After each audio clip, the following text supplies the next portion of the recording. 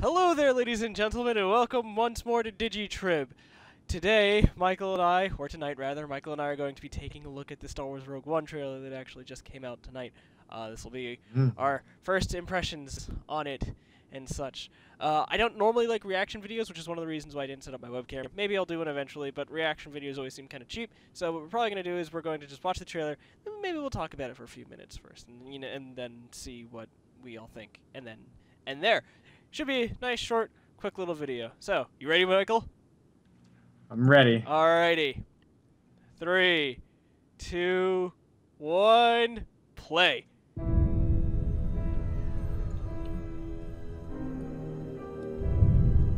The world is coming undone.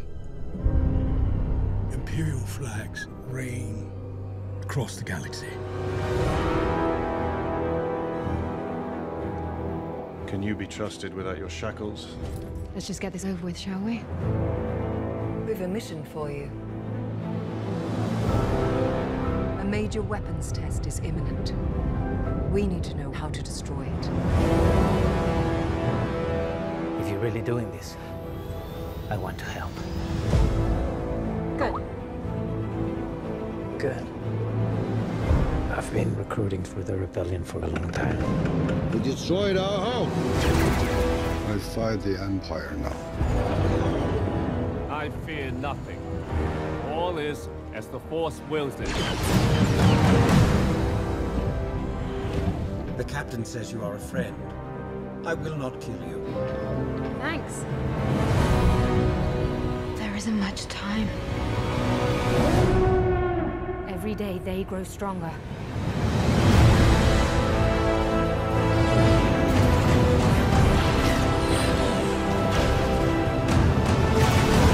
There is a 97.6% chance of failure. He means well.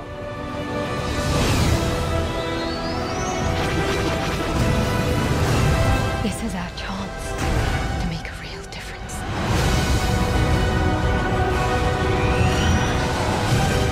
you with me?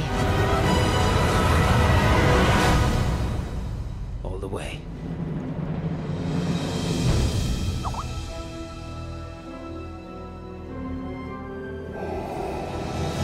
Oh my god!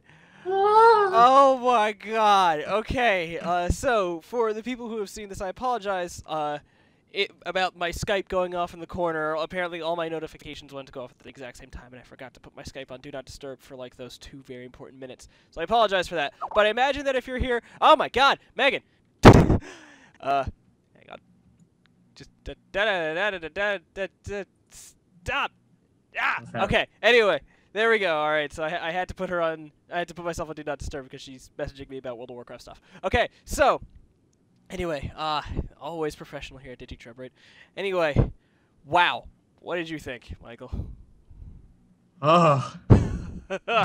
Oh, love Vader cameo at the end. oh, Oh. oh my gosh. Okay, so one of the things that I'm most looking forward to about this movie, when I like when I first heard about it, also, you know, the fact that this is not going to be your traditional Star Wars movie because it's not going to be around Force sensitives really had me excited. I'm so excited for that part. Yes, that's Right. the best part. Um, uh, yes. like it's a breath of fresh air because there's so much more to the entire Star Wars universe than just the Jedi and the Sith. I mean, like they're cool and all, and I love them to death, absolutely. But you know, to see just the normal grunts doing their thing, can't wait. Um, and oh my god, there's so much to talk about here.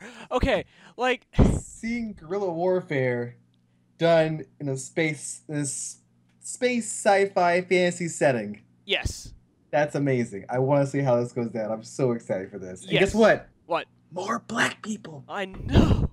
Might not die they might not die, or they'll all die at the same time. Maybe like one AT-AT will just kill us all. And like, Yeah, most likely, yeah. Oh, Yeah, look most at likely. these minorities. Uh, bye right. bye. I know, Oh. but hey, there's more than one black person in the galaxy now, which is awesome. Um, uh, but yeah, okay, It's so like four now. right, uh, but yeah, okay, so exactly what you said, right? With the fact that we have actual guerrilla warfare in a Star Wars movie now. Like it feels like a guerrilla war. All those scenes felt like a guerrilla war. That was the thing I really wanted to get the most out of out of this movie. And honestly, I didn't even think it was going to be that much of a like that much action in it. To be perfectly honest, I thought it was going to be like a Really? Metal Gear Solid espionage esque kind of movie. The way they're explaining it. Uh, you know, the fact that Jyn Erso has to go behind enemy lines and steal the Death Star plans, I thought that she was going to sneak it out, and then they had to escape altogether because, you know, that's just eh, that's how it would have gone down. Uh, but there looks to be a lot more combat in this movie than I thought that was going to initially be the case, and I'm totally okay with that because one of my favorite scenes from the original trilogy, and tell me if you agree or not, was the Battle of Hoth. Excuse me. And one of the reasons why I loved the Battle of Hoth was because there were no lightsabers being swung around really in that entire fight. we actually got to see just like the rebels just defend their base as much as possible, and oh my god, oh, oh, this is this is going to be. Is this the good. same mission where I think her name Mon Mothma? Yeah, she was like May Bothans die. Was it the same mission? No, this is um that was in Oh, the second Death Star. That was the second Death Death Star, yeah. yeah. Uh, in this one there are no Bothans to kill. Um, they, uh, weren't, they weren't for the, the rebels yet, I guess. yeah, I know, right. Um, if there is a Bothan, that would be really cool. I would love to see like a Bothan cameo. right? Where 'Cause like they are the they just- yeah, where they just go and they also die. Like we know that that's what they are renowned for doing. Um, it's doing nothing to die. just doing nothing but dying. Uh, I'm like cutting through some of the scenes right here. Um, if I go to, oh, turn on the volume a little bit. Uh, but if I go to, oh gosh, I'm even just trying to find a good scene. Yeah, here we go. Like right off the bat, from like 46 seconds, where you see all these people just, you know, starting to fight, um, setting up ambushes.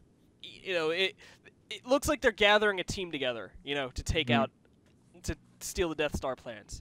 Um, See, I thought it'd be more of like a dog fighting type movie where it's just like, because Rogue One isn't that basically like a squadron, isn't it? uh, Rogue Squadron is. Yeah. Yeah. So I thought it'd be more like dog fighting than anything else, but Mhm. it seems not. And I'm okay with this. Yeah. I want more. Yeah, this almost seems like it's going the route of uh, I don't I don't want to say like Guardians of the Galaxy, right? Because it's totally different tone. Uh, but the idea that you're like it looks like the rebels are collecting all these different kinds of individuals to work together. Mass to, Effect. Yeah, right. It's Mass Effect. there you Suicide. Mission. Oh man, it's Mass Effect 2 all over again. Oh, I oh gosh, it's gonna be great. I can't wait to see the AT-ATs. Like, let me go back. Like the AT-ATs. Um, it looked beautifully done. Oh yeah. I'm.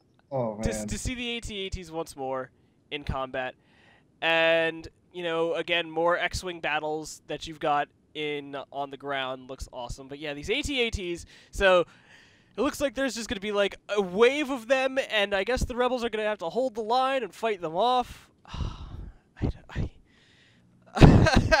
I can't wait. Oh my! I, I feel like it's the type of movie keeping you edge of your seat because you know the rebels have a huge disadvantage against the Empire. If they mess up once, they're all dead, pretty much. yeah. That's what I love about the guerrilla warfare type movies, where you're always on edge because one mess up and you're done. Yeah, I honestly think that I'm more excited for this than I am for Force Awakens.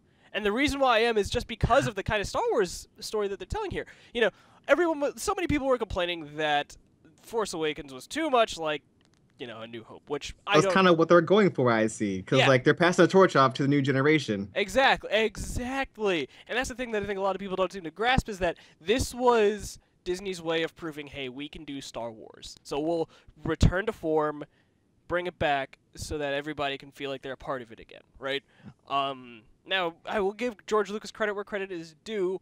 I'm I like that he tried going off in a new direction with it, and I'm I don't want to see any more super weapons after this. This is the last time I will accept it's the third time they tried this. It's not gonna work. this is the last time I will accept the Death Star, and I know that this is, you know, a, a prequel to A New Hope. So this is the first Death Star again. So I accept that. But actually, Hmm? out of the three Death Stars they had, it blew up six planets. So I mean, it's kind of working. That's, uh, uh, six planets is a good thing to have in your resume. Let's think about this for a second. it though. is, but at the same time, like, It's too much resources for one thing They only shot like one shot, really. I mean, it's not, it's not only that, but you know, like we get that same storyline so many times. like I like I, I don't want to see another super weapon after this movie Well, you're gonna hit Rogue One. No. Going back to the super. Well, yeah, no, see, that's what I'm saying. Like, I'm okay with Rogue One because it's a prequel where they're talking about the Death Star again. But, like, these super weapons can't keep being the catalysts for these movies. They have to be able to fight something or do something that doesn't involve another super weapon that destroys planets. And I don't want the Sun Crusher base or whatever that, you know. Like th- well, there's the, well, there's the Star Killer base in Force Awakens, and there's one other. But I don't want, you know, another. I, I just don't want any more super weapons after this. Like I'm so done with the super weapon concept. I think they're going to go with the uh, Empire Strikes Back.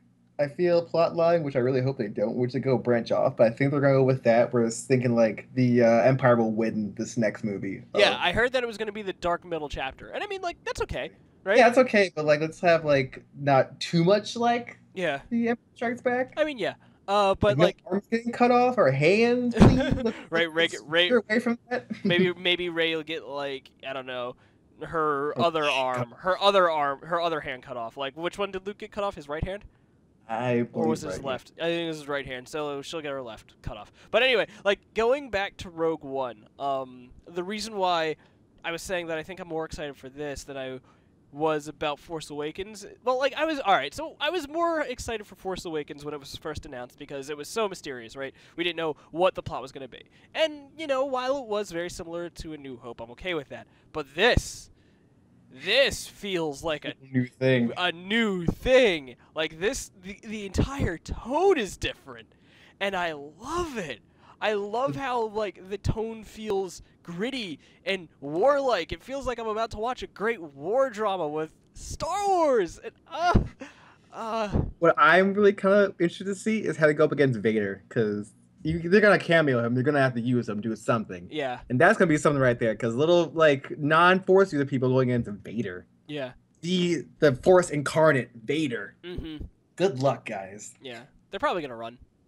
In all I hope honesty, so. But I hope like one happen. gets like force choke. I think it's force choked at once or something like that. It's like, oh no, run. Yeah. Oh man. But anyway, uh, that is our first impressions of Star Wars uh, Rogue One trailer. I think that this will be a phenomenal film, and I, I'm pretty sure once more that this is just gonna blow away the box office and you know everything all over again. I, I'm sure it won't get the same amount of revenue as Force Awakens does because it's not a numbered Star Wars movie. You know, it's a eh, spin-off story. I think it might. You think it might? I think it might. I think it might because it's a new Star Wars, and the fans will come back to Star Wars because it's Star Wars and it's something new. And as as you said, Rogue One is a whole new thing, Yeah. and we want this. So I think it's gonna get just as, if not more, than Force Awakens. Hmm. Well, time will tell. One way or another, Michael, you're coming from Virginia and you're coming here, and we're going to see this movie. You darn right I am. and then we're going to do a review on it. It'll go up on Digitrib, and everything will be great. Anyway, uh, we wanted to keep it short and sweet. I think we kept it nice and short and sweet. I don't think we went over like 10 minutes or anything like that. So, uh, without any further ado, thanks for watching, everybody. Hope that you like whatever this little discussion thing is. We might do more of this. You know, we're still experimenting with everything, and it's good to be back on the YouTubes. So, we shall see you around. Bye-bye. Miss y'all. Bye. Bye.